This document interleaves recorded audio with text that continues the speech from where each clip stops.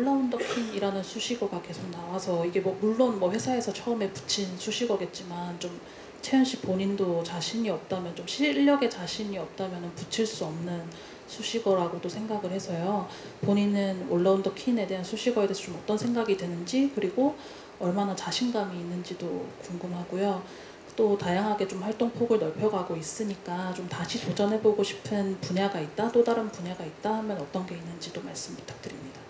네, 올라운더 킴 이채연 씨 어떠세요? 네. 수식어.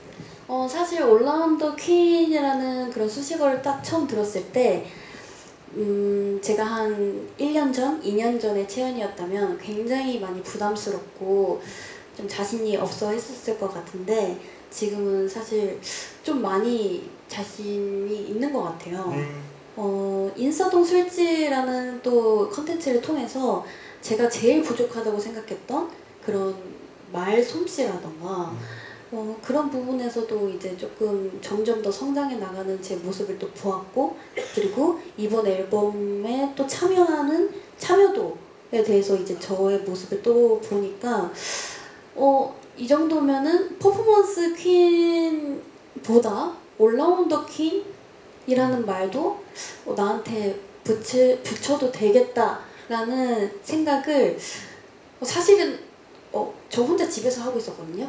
저 혼자 집에서 하고 있었는데 이거를 이제 제 입으로는 이제 하지 못했고 이제 회사에서 이제 좋게 해주셔가지고 거기에 이제 살짝 뒤에서 이제 동의 정도만 네 하고 있었습니다. 아, 그래서 성장형. 네그 수식어에 어울리도록 앞으로도 열심히 노력하겠습니다. 네, 성장형 수식어로. 그리고 또 활동 폭을 좀 넓혀서 다른 분야 또 도전하고 싶은 네. 분야가 있으실까요? 어, 제가 안 해본 분야 중에, 어, 사실은 지금 찍어 놓은 게 있거든요. 그, 그래요? 네, 웹드라마를 하나 찍어 놓은 게 있는데, 네네. 사실 아직 그 방영이 안 돼가지고, 아?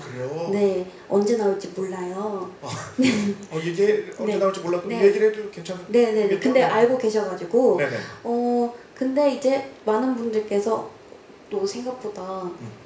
또 되게 연기 소질이 있다. 뭐 이런 얘기를 주변에서 많이 하시는 거예요. 아, 제가, 근데 저는 그, 그런 전극 연기가 아니라 사실 네네. 저는 약간 좀 시트콤에 좀 잘 어울리는 그런 연기 같거든요, 저는. 음. 제가 생각했을 때. 막 취중 고백하는 그런 연기. 아 막 보고 싶다 보고 싶다. 그런 연기 막 하고.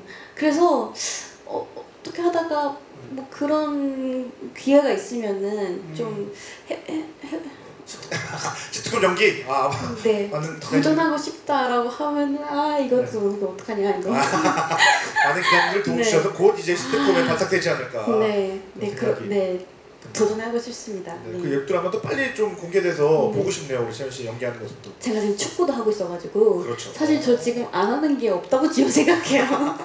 맞아요, 맞아요. 대단합니다. 네. 또 질문 있는 기자님,